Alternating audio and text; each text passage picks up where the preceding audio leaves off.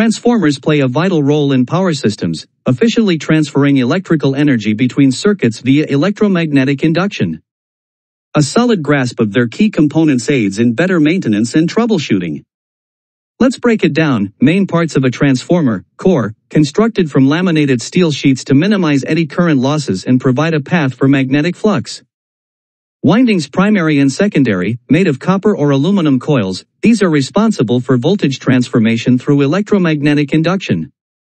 Insulation shields the windings from short circuits and electrical breakdown, utilizing materials such as oil, paper, or epoxy. Transformer oil, found in oil-filled transformers, this oil is used for insulation and cooling, preventing overheating.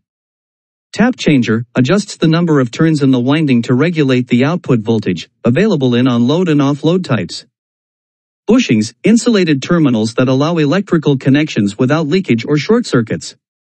Conservator tank, present in oil-filled transformers, this tank accommodates the expansion and contraction of oil due to temperature variations. Breather silica gel prevents moisture from infiltrating the transformer oil, maintaining its efficiency and dryness.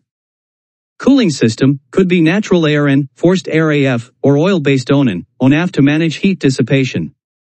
Protection devices includes Buchholz relay for fault detection, pressure relief valve, and temperature gauges for monitoring.